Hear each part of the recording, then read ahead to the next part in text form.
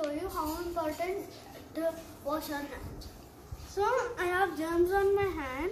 If I dip it in the water, the germs are not going away.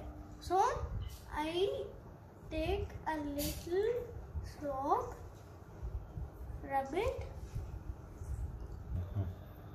and then if I dip it in the water, the germs are moving away. That's how germs escape from soap. That's why we need to wash our hands with soap. Thank you. Stay, stay home, stay safe.